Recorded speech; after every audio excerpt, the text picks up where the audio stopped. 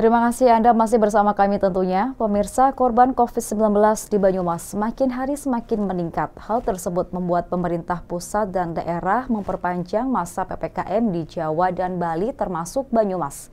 Diperpanjangnya masa PPKM ini berdampak buruk pada perekonomian masyarakat. Untuk meringankan beban masyarakat di Jalan Mangunjaya Purwokerto Lor, terdapat rumah makan gratis yang disediakan untuk semua kalangan.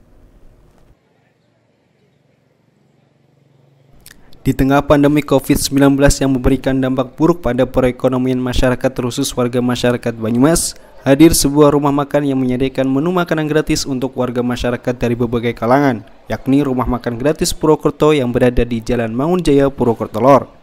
Berawal dari gerakan sosial skala kecil sebagai respon banyaknya masyarakat yang mengeluh atas perekonomian semakin sulit di tengah pandemi, muncullah ide untuk membuka rumah makan gratis untuk masyarakat.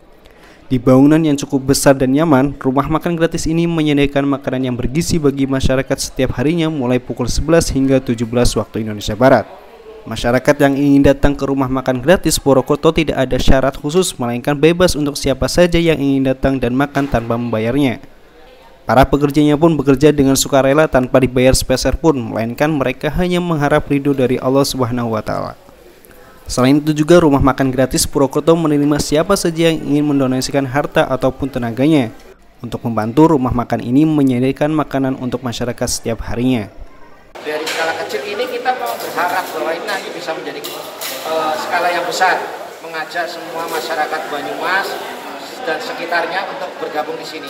Di sini ya yang kita lakukan adalah uh, memasak, membidangkan dan menikmati bersama siapa pun boleh masuk, masuk siapa pun boleh ikut e, relawan, siapa pun bisa berdonasi.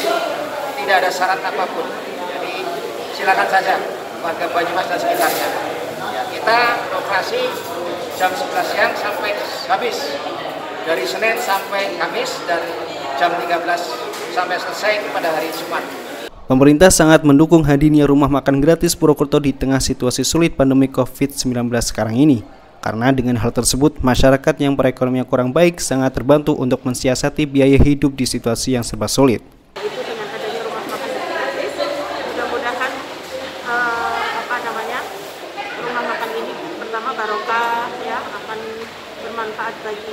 Semuanya siapa pun boleh makan di sini ya siapa pun pun boleh untuk memberikan sodakoh mudah-mudahan ini menjadi amal jariah bagi pemiliknya bagi orang-orang yang ikut bergabung di dalam dengan hadirnya rumah makan gratis Purwokerto diharapkan masyarakat bisa memanfaatkannya dengan baik dan menumbuhkan rasa kesadaran sosial kita di tengah masyarakat.